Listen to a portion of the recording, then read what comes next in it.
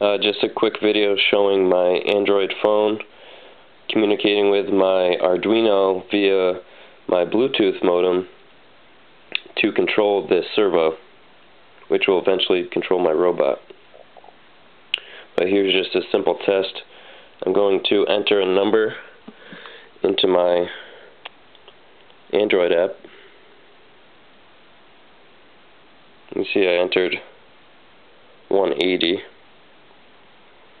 and now when I hit send it turns my servo. I'll just delete the 0 and send 18